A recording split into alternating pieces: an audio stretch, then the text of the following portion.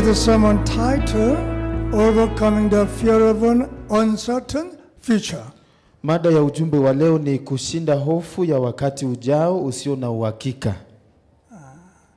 On this article I saw in Korea a few years ago really broke my heart.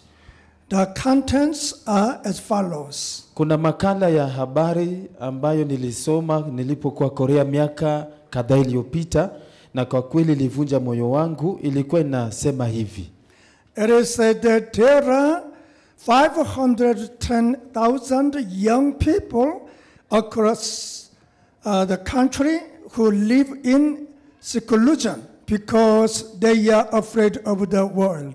Nakala hiyo ilikuwa inasema ya kwamba kuna karibu vijana elfu mia tano na kumi kote duniani ama kote kwenye taifa la Korea ambao wanaishi katika upweke kwa sababu wanaogopa dunia hii. Reclusive young people who live locked in their rooms, cut off from the outside world, are becoming a social problem. Na imekuwa ni tatizo katika jamii kupata vijana wenye upweke wanajifungia katika vyumba vyao, ndio kwamba wajitenge na nje ya dunia. The reason why the number of secluded young people is increasing is that in a competitive society where there are only winners and losers, it is becoming difficult to find job and young people who have failed have an opportunity to try again. So young people are losing hope and choosing to live a solitary life. Sababu ya idadi ya wale vijana ambao wako katika upweke kuongezeka ni kwa sababu jamii yetu imebadilika kwa jamii ya mashindano kiasi ya kwamba kuna tu mambo mawili peke yake, aidha ushinde ama ushindwe. Kwa sababu ya hiyo imekuwa vigumu sana kupata kazi na vijana wanakosa kufanikiwa, hawapati fursa ya kujaribu hata tena, wanapoteza matumaini na kuchagua maisha yenye upweke peke yake. As I remember these stories, I began to pray and hope that our church's Nairobi Management Academy would become a breakthrough that could provide even a little bit of hope to young people and help to our neighbors. Wakati nilikumbuka hadithi hiyo, nikaanza kuomba na kuwa na matumaini ya kwamba kanisa letu Nairobi Manmin tukaanzisha Manmin Academy itaweza kuwa ni hatua ya mafanikio ambayo italeta matumaini hata kama ni kidogo kwa vijana wetu na hata kusaidia majirani zetu. However, the truth is that it is not only reclusive young people who have fears about the future. All humans living on this earth cannot be free from the fear of life. Hata hivyo, ukweli mtupu ni kwamba si vijana hawa pekee wenye upweke ndio wanaishi kwa woga za siku zijazo. Binadamu wote tunaoishi huku duniani tunaishi bila uhuru, yaani tuko na uoga wa maisha. According to experts, babies begin to fear, fear uh, five to seven months after birth. Kulingana na wataalamu ama wasomi, wanasema hata watoto wachanga huanza kuwa na woga kuanzia miezi mitano ama miezi saba baada ya kuzaliwa. After the evening service, there are believers who come to receive prayers. Kila Jumapili baada ya ibada ya pili, kuna waumini ambao huja kwangu kupokea maombi. Some believers sometimes bring their babies, and some of them cry when I place my hands on them to pray. Kuna waumini ambao huleta watoto wao wadogo kuombewa pia, na wakati nawekea watoto wadogo mkono wanaanza tu kulia. The baby isn't crying because he's sick, uh, scared of me, right? I don't look scared at all, right? Na mimi mkiniangalia, siko mtu wa kutisha, ati ndio sasa mtoto aliye juu namtisha ama Okay. When a stranger approached and touched the baby, the baby instinctively fear, fear, and cry. The baby doesn't cry because something is wrong. Yule mtoto hali ati kwa sababu kuna shida ama ametishiwa, lakini analia kwa sababu ameona mtu mgeni, mtu hajaiona na huyo mtu amemgusa. Kwa hivyo kwa kawaida atahisi woga na ataanza kulia. Life is like this. When a baby feels afraid of something in life and cries. Kama vile tu mtoto akiogopeshwa na jambo fulani ndani ya maisha na aanze kulia, basi maisha yetu ndio hayo. Adults are just getting older, have more respect, and have become insensitive to crying. But the truth is that there are many times when adults want to cry too. Kwa watu wazima tunaweza kuwa tumezidi kukua katika umri, ndio maana unapata mtu ako na heshima zake na mtu hajali na si rahisi kulia, lakini ukweli ni kwamba kuna mara nyingi hata watu wazima hutaka kulia pia. All people living on this earth cannot escape the feeling of a fear. Ni kusema kila mmoja anayeishi duniani hawezi kuepa hisia za woga. Today, the scripture addresses the issue of a fear of an uncertain future. Basi andiko la leo linatuelezea ama linasuluhisha jambo hili kuhusu uoga wa siku zijazo ambazo hazina hakika. By finding out what answer God gives to this problem, I hope that your life will be filled with grace that will only fill you with hope, victory, and peace. Na kwa kutafuta ni jibu gani Mungu anatupa kuhusiana na tatizo hili la woga, natumai ya kwamba maisha yako itajazwa tu na neema na utajazwa tu na tumaini, ushindi na amani kila siku.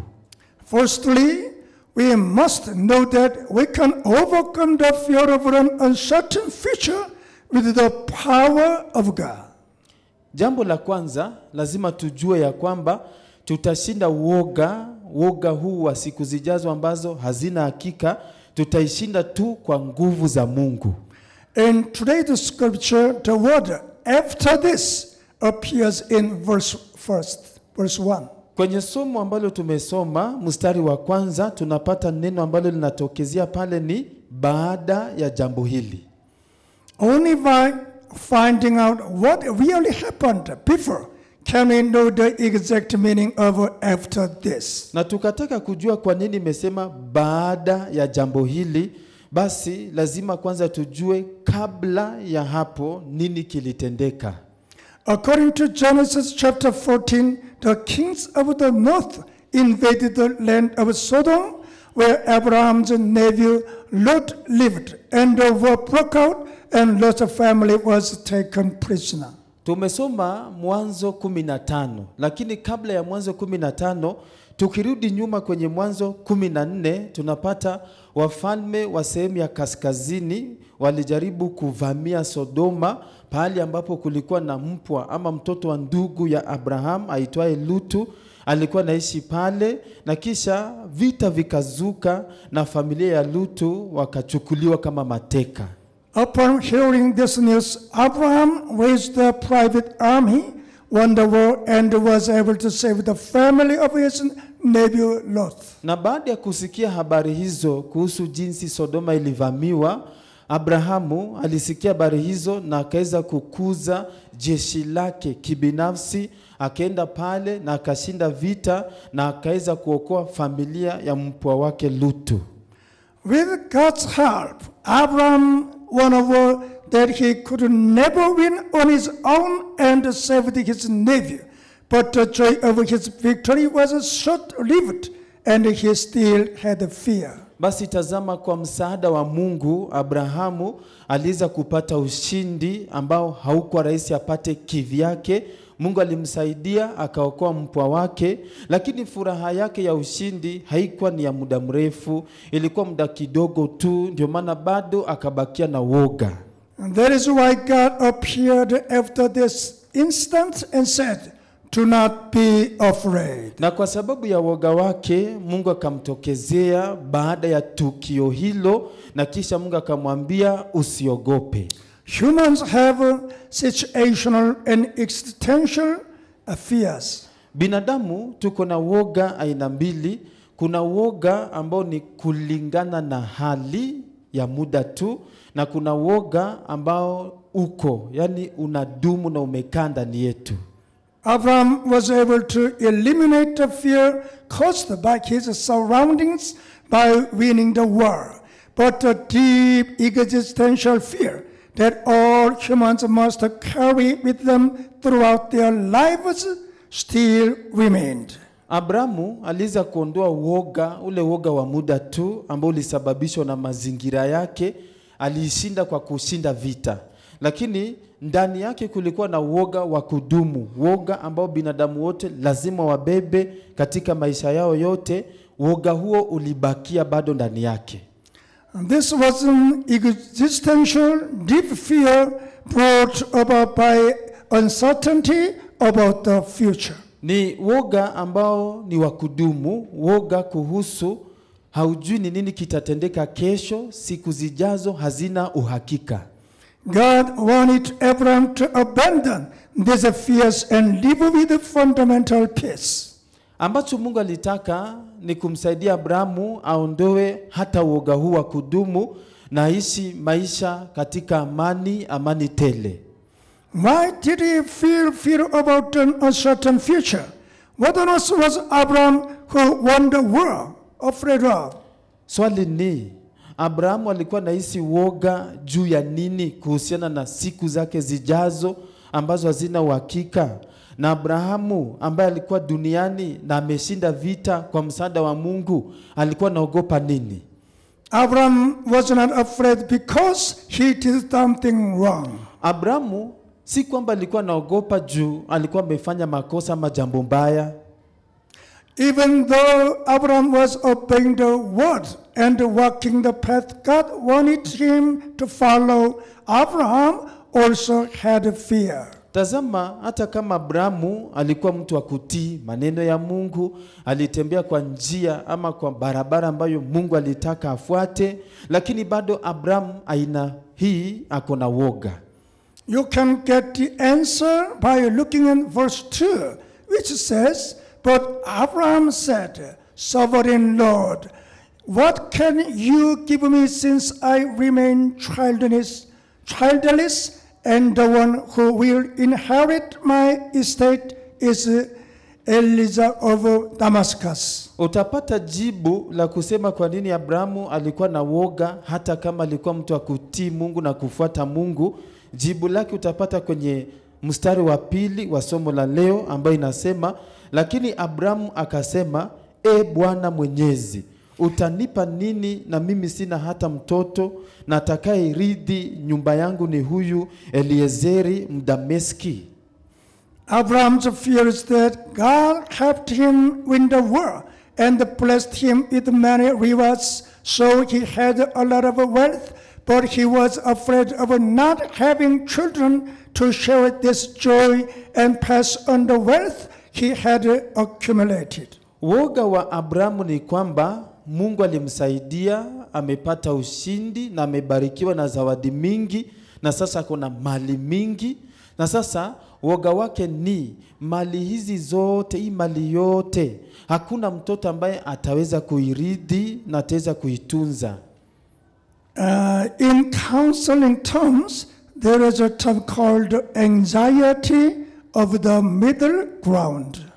Katika lugha ya kuweza kushauri watu, kuna lugha ambayo inasema wasiwasi wa ardhi ya kati. Paul Tournier, a 20th century psychologist, explained anxiety of the middle ground in his book, The Place of Man. Jamaa mmoja aitwaye Paul Tournier wa mwanasaikolojia wa karne ya ishirini alielezea hii wasiwasi ya ardhi ya katikati kwenye kitabu chake The Place of Man, sehemu ya binadamu. Anxiety of the middle ground refers to the anxiety experienced by an acrobat riding the pitch in a circus.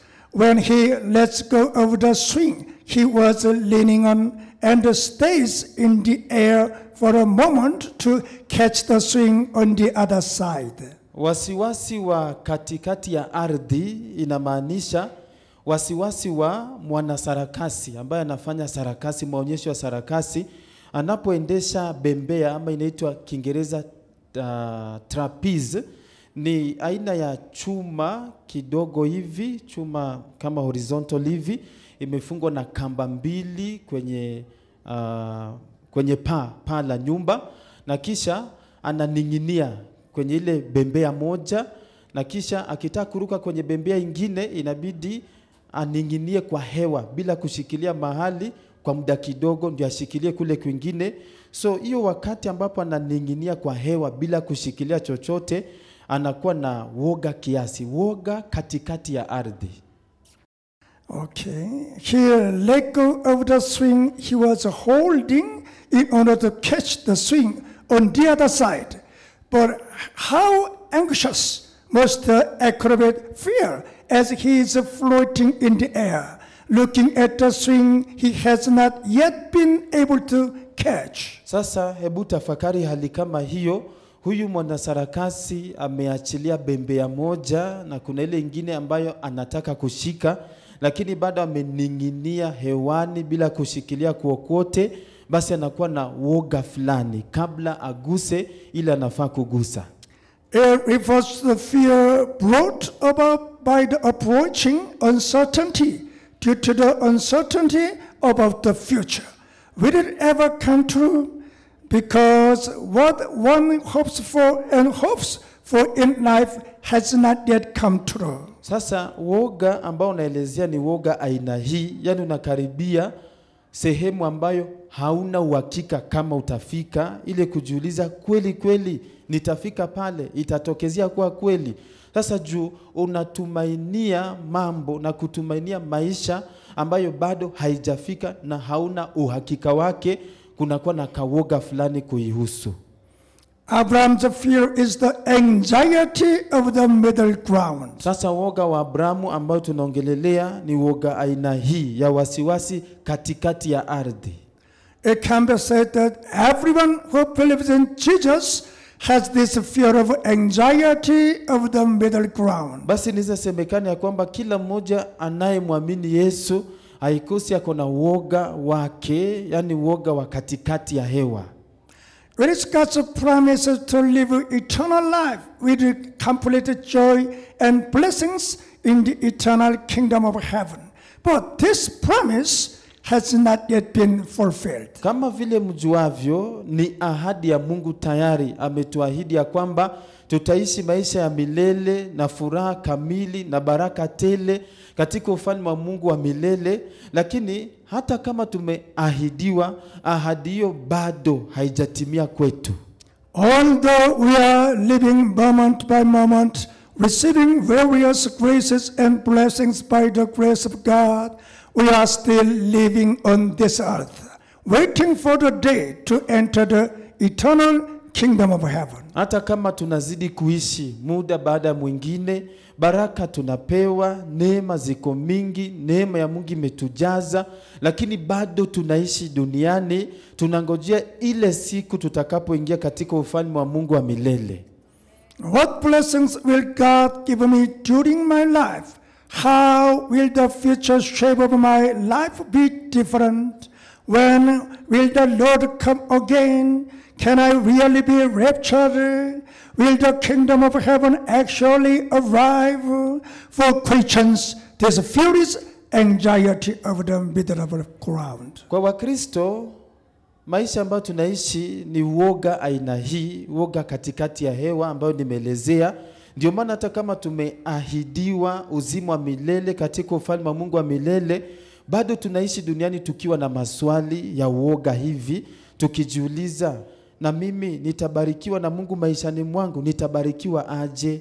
Na tena Uh, siku zangu zijazo katika ufalme wa mbinguni zitakuwa tofauti kiasi gani?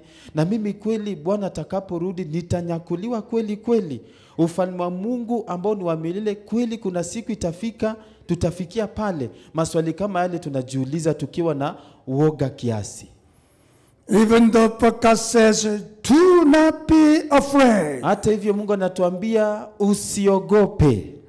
It is said that the phrase, do not be afraid, appears 365 times in the Bible. ambao wamechunguza Biblia wanasema ya kwamba neno hili la kusema usiogope imetokezea kwenye Biblia mara 365. There are numerous commands recorded in the Bible. Kuna amri mingi za Mungu zimeandikwa ndani ya Biblia. Commands are not something you can just li- listen to or not listen to. They must be obeyed. Na amri ni amri, si kitu cha kusema utasikia ama hautasikia, utaamua ufuate ama usifuate. Amri ni amri na lazima uitii. For example, there are important commands in the Bible, such as live one another, rejoice, give thanks in all circumstances, pray without ceasing, and be witnesses to the ends of the earth. Kwa mfano, kuna amri muhimu sana ndani ya Biblia kama vile kusema mupendane nyinyi kwa nyinyi, furahi kila wakati, shukuru katika hali zozote, omba bila kukoma, muwe mashahidi hadi mwisho wa dunia. Amri kama hizo. Among the many commands in the Bible, what is the most important? Na basi kati ya amri hizi zote ndani ya Biblia ni amri gani ya muhimu zaidi ya zote? The commands that are repeated the most will be the most important. So, what are the most repeated commands? Basi amri ambayo imerudiwa na ikarudiwa tena na tena zaidi ya zingine ndio ya muhimu zaidi. Kwa hivyo swali ni amri gani imerudiwa mara nyingi zaidi ya zingine? It is neither love one another nor pray and evangelize. Surprisingly, the most repeated command is to not be afraid. Ya kushangaza zaidi ni kwamba amri ambayo imerudiwa mara mingi si ile kusema pendaneni nyinyi kwa ninyi ama omba ama fanye injilisti. Ya kushangaza zaidi ni kwamba amri iliyorudiwa sana ni usiogope. Why does God repeatedly tell us not to be afraid? Kwa nini Mungu anarudia rudia akituambia musiogope? This may be because God's children are already surrounded by weakness and fear, anxious, Haikusi ni kwa, sa, ni kwa sababu watoto wa Mungu kila wakati tumezingirwa na udhaifu na uoga na wasiwasi. And this is because the devil prowls around like a roaring lion with his fierce teeth and claws, looking for someone to devour. Ni kwa sababu ibilisi adui yetu anazunguka zunguka kama simba ngurumaye kwa meno yake makali na makucha yake akitafuta mtu wa kumeza. Regardless, this God commands as follows Na kuhusiana na hilo, Mungu anatuagiza ifuatavyo. Isaiah chapter 42 and verse 10 So do not fear, for I am with you. Do not be dismayed, for I am your God. I will strengthen you and help you. I will uphold you with my righteous right hand. Isaya 41 mstari wa kumi inasema usiogope, kwa maana mimi ni pamoja nawe, usifadhaike, kwa maana mimi ni Mungu wako, nitakutia nguvu, nam nitakusaidia, nam nitakushika kwa mkono wa kulia wa haki yangu. John chapter 16, verse 33. I have told you these things so that in me you may have peace. In this world you will have trouble, but take heart. I have overcome the world. Na Yohana 16:33 anatuambia hayo nimewaambieni mpate kuwa na amani ndani yangu. Ulimwenguni munayo dhiki, mtapata dhiki, lakini jipeni moyo, mimi nimeushinda ulimwengu. By following this command, I hope that you will overcome the fear of the world and the anxiety of uncertainty about the future with the grace and peace that God gives us. Basi naomba kwa kutii amri hii ambayo inatuambia usiogope, natumai utashinda woga wa dunia hii na woga kuhusu siku zijazo ambazo hazina uhakika, uzishinde kwa neema na kwa amani ambayo Mungu anatupa. Secondly, when you feel anxious due to an uncertain future, you must turn to God and receive correction through His Word. Ya pili, unapopata ya kwamba uko na woga na wasiwasi kuhusu siku zijazo ambazo hazina uhakika, ambacho unafaa kufanya ni lazima umgeukie Mungu. Geuka urudi kwa Mungu na upokee marekebisho yake kupitia neno lake. There is anxiety about the uncertain future, and when fear arises inside, life becomes unstable. This is because fear clouds your judgment and discernment. Kunakuwa na woga wa siku zijazo ama kesho ambayo haina uhakika, na wakati woga huu una- unakupata inazidi kuongezeka ndani yako na maisha yako inaanza kuyumbayumba. Ni kwa sababu woga hufunika uwezo wa mtu kuhukumu ama kutambua mambo.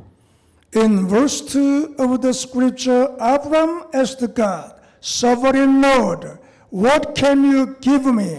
Kwenye mstari wa pili wa somo la leo, Abrahamu anamuuliza Mungu, e Bwana Mwenyezi, utanipa nini? If he asks the question, shouldn't he wait for God's answer? Na kama nauliza swali, si anafaa ngoje jibu la Mungu? However, Abraham became impatient and asked his own question and gave his own answer according to his own thoughts. Hata hivyo, kama vile tunaona Abrahamu hajakuwa mtu mvumilivu, anajiuliza swali mwenyewe na anajijibu ye mwenyewe kulingana na mawazo yake mwenyewe. In the verse 2 till uh, verse 3, he says, I remain childless, and the one who will inherit my estate is Eliezer of Damascus, who have given me no children, so a servant in my household will be my heir. Ndio maana kwenye nusu ya mstari wa pili ikiendelea mpaka mstari wa tatu, baada ya kuuliza Mungu utanipa nini, anaendelea kusema na mimi sina hata mtoto atakayerithi nyumba yangu, ni huyu Eliezeri Mdameski. Na sasa anauliza tena, hukunipa watoto, hivyo mtumishi katika nyumba yangu ndiye atakuwa mrithi wangu. In a word, he did not consult God's will, but did what he thought, what he planned, and what he wanted. Kwa ufupi ni kusema hakutafuta mapenzi ya Mungu ni gani kuhusu hali yake. Yeye alifanya tu kulingana na vile alifikiria, kulingana na vile alipanga na kulingana na vile alitaka. When you make plans and decide what to do, you should be careful if you have fears about the future within you. Basi wakati unafanya mipango ama maamuzi ya kile ambacho utafanya, unafaa kuwa mwangalifu kama uko na woga kuhusu kesho yako. Because judgment is clouded by fear, there is a high probability of a wrong results. Nasema uwe mwangalifu kwa sababu woga hufunika uwezo wetu wa kutambua na kuhukumu mambo, na wakati utafanya mambo ukiwa na woga hivi na umefunika uwezo wa kutambua mambo, kuna uwezekano mkubwa matokeo ambayo yatakuja ni mabaya. Uh, there is a Korean proverb that says, playing the drum and playing the uh, drum alone. I'm only uh, saying about uh, meaning about uh, Korean proverb. na In. English, Nimeongea kuhusu mithali ya Kikorea, lakini Kiingereza it can be said, one asking himself questions and then answers himself, such is said to have put on a one-man show. Kiingereza kwa urahisi, mithali hiyo Kiingereza ni kama kusema mtu kujiuliza swali na ye mwenyewe anajijibu. Kwa hivyo ako katika mkutano wa mtu mmoja tu.